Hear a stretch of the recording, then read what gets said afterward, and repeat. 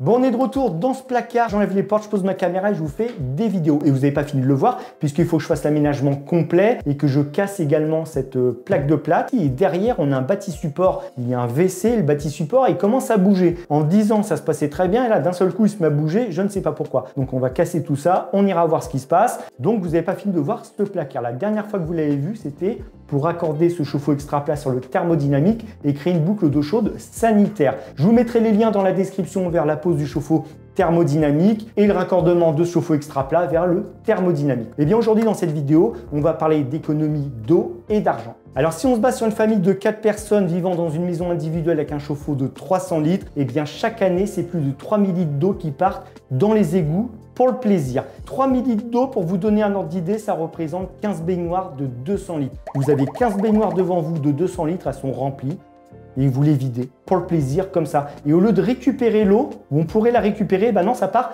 dans les égouts. Alors d'où vient ce problème? Eh bien le problème, c'est votre chauffe-eau. Votre chauffe-eau de 300 litres, il a un groupe de sécurité et pour éviter que ça monte en surpression lors d'un cycle de chauffe, eh bien le groupe de sécurité va libérer de l'eau. Alors imaginez que vous alliez dans le commerce chercher votre groupe de sécurité. Un groupe de sécurité, ça vaut une vingtaine d'euros et c'est obligatoire lors de l'installation de votre chauffe-eau. Vous l'achetez, vous prenez le modèle qui vous convient et voyez à côté du prix, donc 20 euros, une étiquette. Abonnement annuel de 12 euros, obligatoire, renouvelable tous les ans. Vous allez vous dire, mais c'est quoi cette arnaque? J'achète mon groupe de sécurité, j'ai pas payé en plus. Eh bien, vous payez en plus puisqu'il libère 3% du volume du chauffe-eau et sur un 300 litres, je vous l'ai dit, ça représente 12 euros par an. Donc vous payez 20 euros votre groupe de sécurité et tous les ans, vous payez 12 euros. Donc 3000 litres qu'on pourrait récupérer, réinjecter dans le chauffe-eau. Encore une fois, 3000 litres, c'est juste 12 euros par an. Ce n'est pas énorme, mais un vase d'expansion pour un 300 litres, ça vaut dans les 50 euros. Est-ce que ça vaut le coup d'acheter un vase d'expansion 50 euros pour économiser 12 euros par an? Eh bien oui, vous allez certes le payer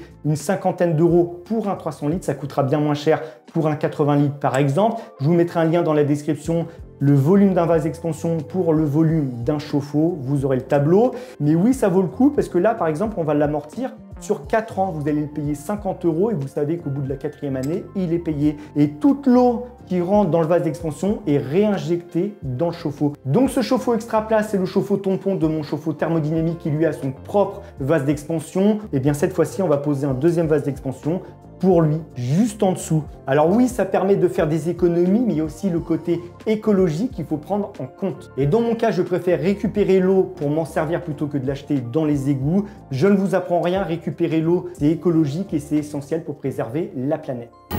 Le l'eau. Dans 20-30 ans, il n'y en aura plus. Bon, vous l'avez compris, ça sert à rien de gâcher de l'eau alors qu'on peut la récupérer. C'est comme mettre de l'eau potable dans ses WC et tirer la chasse d'eau, c'est aberrant, mais c'est comme ça. Il y a des gens qui se battent au quotidien et qui veulent changer les mentalités. C'est comme récupérer l'eau de pluie et injecter l'eau de pluie dans une cuve pour arroser son jardin. Et comme l'écologie et l'isolation des maisons sont intimement liées, une maison mal isolée, ce sont des conséquences négatives tant sur le plan du confort que sur les coûts énergétiques. Et si de votre côté, vous souhaitez faire des économies parce que votre logement est mal isolé, eh bien je vous présente Helio qui est le partenaire de cette vidéo. Et Helio, pour ceux qui ne connaissent pas, vous accompagne pour tous vos projets de rénovation énergétique. Les travaux, les primes, les conseils, il s'occupe de tout. Et aux côtés d'artisans qualifiés, les experts Helio vous accompagnent et vos travaux peuvent être pris en partie en charge par les aides Ma Prime Rénov et la prime Helio des certificats d'économie d'énergie. Alors pour obtenir ces primes et subventions, ça dépend de plusieurs critères, la nature des travaux que vous envisagez, les caractéristiques de votre logement et votre niveau de revenu. Et vous allez même pouvoir prendre de la hauteur avec Helio parce qu'ils vont aller grimper sur votre toit pour installer des panneaux solaires garantis 25 ans. Vous allez pouvoir passer à l'autoconsommation solaire en produisant votre électricité verte grâce aux aides de l'État. Alors vous avez un lien dans la description pour demander à Helio une étude solaire personnalisée, ainsi que le montant économisé et votre rentabilité. Et vous avez même un code partenaire qui s'affiche juste ici, moins 200 euros sur votre devis. Et concernant les pros, vous pouvez devenir partenaire d'Helio si vous avez une entreprise de travaux. Helio accompagne tous les métiers de la rénovation énergétique globale. L'isolation thermique, le calorifugage, les systèmes de chauffage et les panneaux solaires. Et vous allez même gagner du temps puisque Helio va s'occuper de toutes les démarches administratives. Et vous avez un accompagnement complet puisque Helio vous guide à chaque étape avec un conseiller disponible. Alors que vous soyez particulier ou pro, Helio a la solution. N'hésitez pas à les contacter, vous avez toutes les infos et liens en description. Donc mon groupe de sécurité, alors je ne sais pas si on va bien le voir, hop, on a de l'eau qui coule dedans, soit filet ou goutte à goutte. Donc lui, il va libérer la pression du chauffe-eau et toute cette eau part dans les égouts. L'avantage du vase d'expansion, c'est qu'il va récupérer donc l'eau la réinjecter dans le chauffe-eau. Si vous n'avez pas d'évacuation et vous ne pouvez pas raccorder le siphon à l'évacuation de votre groupe de sécurité, c'est le vase d'expansion qui va réinjecter cette eau dans le chauffe-eau. Donc on peut se passer avec un vase d'expansion de l'évacuation du groupe de sécurité. Je verrai pour remettre l'évacuation plus tard. Un groupe de sécurité classique, ça ressemble à ça. Donc il est raccordé sur le raccordi électrique. Et pour mettre mon vase d'expansion, je vais tout simplement venir mettre un T entre le groupe de sécurité et le raccord électrique. Donc là, j'ai mon arrivée d'eau froide et ici, mon vase d'expansion. Et puis là, mon raccord électrique. Sur ce modèle, c'est le Thermador X-Cross. Je vous mettrai le lien dans la description de la vidéo où j'ai fait toute cette installation. Je vous en ai parlé, mais on peut le mettre à l'horizontale ou à la verticale. On va déclipser ici, la soupape peut venir là, le bouchon peut venir là, et le bouchon, justement, je vais pouvoir déclipser, l'enlever et mettre cette pièce. Donc vous aurez tous les liens dans la description, notamment cette pièce qui est super pratique, parce qu'en venant directement la mettre ici, on a un joint torique, l'étanchéité est faite, et surtout, je peux me repiquer directement le groupe de sécurité pour mon vase d'expansion. Je ne suis pas obligé de rajouter un T. C'est bien sûr un vase d'expansion pour le sanitaire. Il est compatible chauffe-eau électrique et chauffe-eau thermodynamique. C'est un Somatherm référence 6025 10 301. Alors il est gris en général pour le sanitaire, il est blanc et pour le chauffage, il est rouge. Sur le dessus, on enlève la protection. On a une valve comme une valve de roue de voiture ou de vélo. Si j'appuie dessus, on a de l'air qui s'échappe. Il va falloir vérifier la pression avant de l'installer parce qu'il est gonflé en usine à 2,5 bar, pression maxi 10 bars, donc lui il fait 5 litres. C'est en fonction de la capacité de votre chauffe-eau. Encore une fois, vous aurez le tableau dans la description. Donc il est prégonflé à 2,5 bars, mais c'est en fonction de votre réseau. Sur votre réseau, vous avez un réducteur de pression et vous regardez l'aiguille, elle va vous indiquer 2 bars, 3 bars, 4 bars, peu importe. Et vous devez le gonfler en fonction. Donc dans ce vase d'expansion, on a une membrane, on peut la sortir par ici. Vous dévissez les vis, vous la sortez, vous vérifiez qu'elle ne soit pas crevée, vous la remettez dedans et c'est reparti pour un tour. Honnêtement, ça peut durer 10 ben, ans, 20 ans, 30 ans, peu importe. Tant que la membrane n'est pas crevée, il n'y a pas de raison. Il faut vérifier bien sûr la pression. Et pour le raccorder, eh bien inflexible, ça fait le job. On peut le raccorder bien sûr avec du cuivre ou du multicouche, mais un bout de flexible, on le raccorde et je vais le poser en fonction de la longueur du flexible. La petite patte va bien et un gros collier Serflex. Alors c'est pas la meilleure des fixations, mais ça le mérite de tenir. C'est qu'un vase d'expansion. Alors sur le vase d'expansion ici, j'ai un raccord mâle en 20-27, c'est du 3 quarts. Je vais pouvoir mettre mon flexible et sur le flexible, pour le groupe de sécurité, je vais placer bien sûr mon raccord, un joint dedans. Là, on va pouvoir le visser. Hop, on va serrer tout ça. Alors ça s'est inséré comme un fou. Un petit peu. Ça suffit. Donc ça, c'est la partie qui va rentrer dans mon groupe de sécurité. Selon votre installation, soit c'est la partie coudée au niveau du groupe de sécurité, soit c'est la partie droite. Moi, je vais mettre la partie coudée parce qu'ensuite, ça va remonter, vous allez comprendre. Et donc l'extrémité du flexible, vous avez compris. Alors là, j'ai déjà le joint d'intégrer dedans, on ne rajoute pas d'étanchéité, ça sert à rien. On vient la visser sur la partie mâle du vase d'expansion.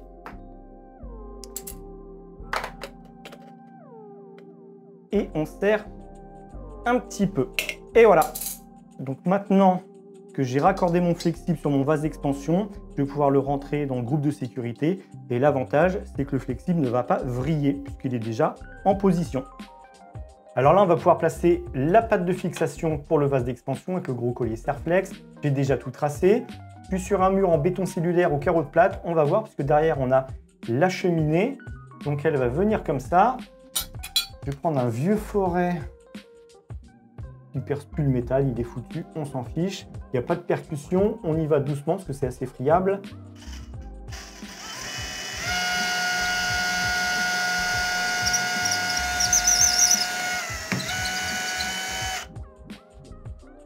ça a l'air d'être du béton cellulaire.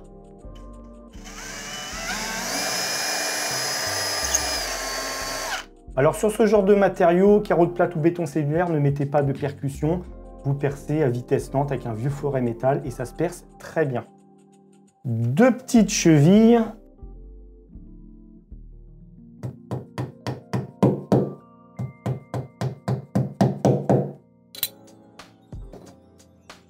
Hop.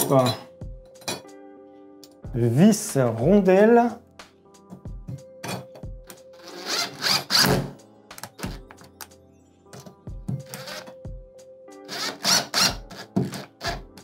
Alors, je vais quand même vérifier le niveau, mais avec le collier Serflex, de toute façon, vous l'ajustez comme vous voulez. Mais c'est histoire de dire que la pâte...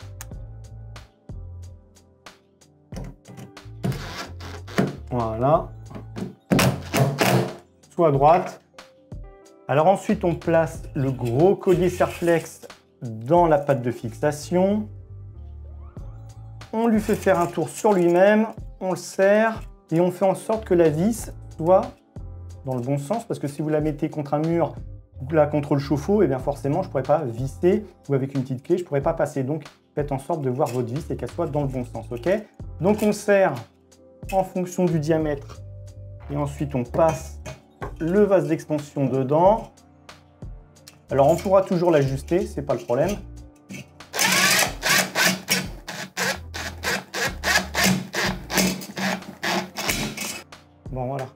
Là on va dire qu'on est pas mal. Je le redévisserai tout à l'heure si j'ai besoin de l'ajuster. J'ai l'impression qu'on n'est pas trop mal. Et donc lui, on va pouvoir le rentrer directement dans le groupe de sécurité. Et je vous l'ai dit, le flexible, il est libre. Donc il ne va pas vriller, mais si j'ai besoin de le tourner légèrement, je dévisse ici, je le tourne, je le remonte, je le peux même le baisser, mais bon, l'idéal c'est d'avoir le collier sous le joint, au moins ça fait une petite butée, vous voyez ce que je veux dire? Donc il ne peut pas descendre. Là, honnêtement, bon, c'est pas la meilleure des fixations, mais ça le mérite de tenir. J'aurais aimé une patte avec une vis sur le côté pour éviter de le soulever, vous voyez ce que je veux dire Mais bon, ça tient, c'est le principal. Alors maintenant, je vais pouvoir dévisser le bouchon, enlever le clips, et raccorder directement ce raccord magique. Alors bien sûr, j'ai coupé l'eau. Il faut casser la pression. Vous tirez de l'eau sur vos robinets. On peut même purger ici le reste.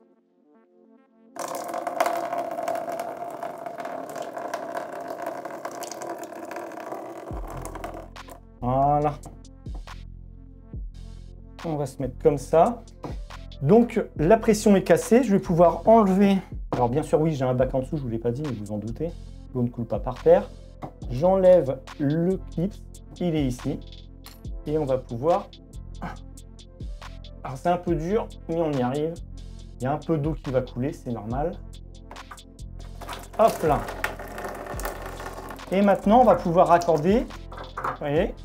Hop, c'est tout ce qu'il y a à faire. Voyez, c'est pas compliqué on remet le clip, alors je le mets par derrière. Vous, doutez bien que mon tournevis par derrière ne peut pas passer, alors que là, il peut passer. Mais je peux aussi l'attraper comme ceci ou par en dessous, comme ça, si j'y arrive. Et hop, et vous l'attrapez comme ça. OK? Maintenant, on va le remettre. Et voilà. Donc ça c'est fait, il est raccordé, il n'y a plus rien à faire. L'étanchéité faite avec le jointeau rythme flexible, eh bien il est droit, il ne vrille absolument pas. C'est nickel, on va pouvoir baisser ça. Je peux remettre, je sais plus où il est.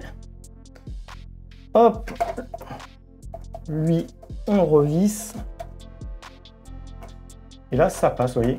Bon, ça touche un peu le flexi, mais c'est pas très grave peux le tourner, je pourrais me repiquer pour mon évacuation dans ce sens-là, dans ce sens-là, dans ce sens-là, peu importe. Si j'ai besoin d'y accéder, je soulève, je dévisse, enfin je dévisse, j'ai pas besoin de le dévisser, on le déclipse et puis voilà. Alors on va vérifier la pression, lui, hop, on l'enlève, je prends mon mini compresseur,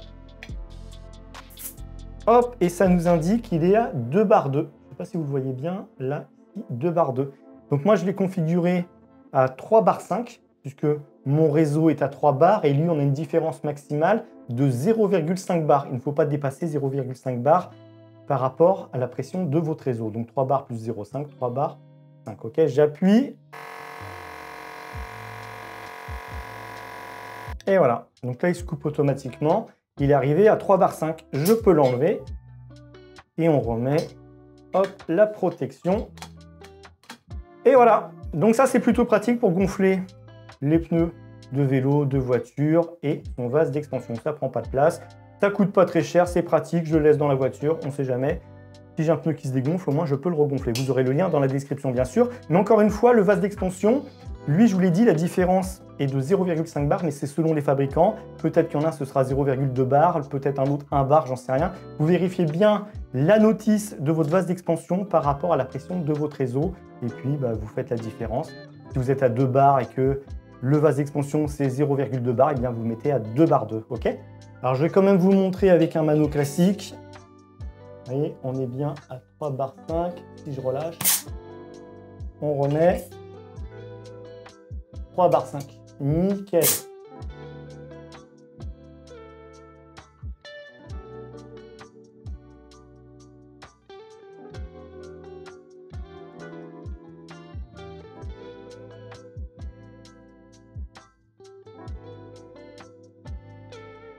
Alors le vase d'expansion est raccordé, c'est ultra rapide, surtout avec le Thermador X-Cross.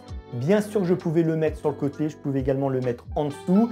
J'ai préféré le mettre légèrement en hauteur et au plus court du groupe de sécurité, parce que là sur le côté en hauteur ça tenait, il n'y avait pas de souci là-dessus, mais ça me faisait beaucoup plus long au niveau du flexible. Ici, il est très bien, il ne gêne personne, et donc légèrement en hauteur, en dessous, je vous l'ai dit, on peut, mais il y a un risque de prolifération bactérienne parce que l'eau va stagner dedans, mais ça va fonctionner. Il va renvoyer l'eau, il n'y a aucun souci là-dessus, mais l'eau va stagner. Donc on le met légèrement en hauteur pour que toute l'eau s'évacue et reparte au niveau du groupe de sécurité et bien sûr le chauffe-eau.